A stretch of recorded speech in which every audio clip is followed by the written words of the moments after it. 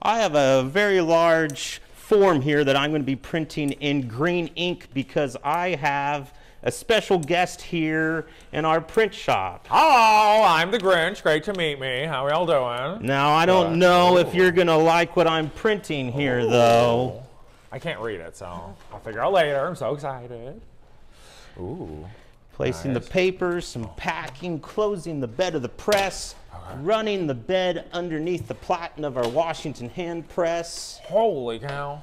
pulling the lever, which lowers the platen just about a quarter of an inch, but making a good impression because, after all, pressmen like to make a good impression.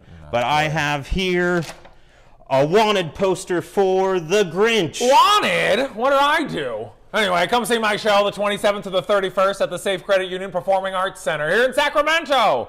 Wanted.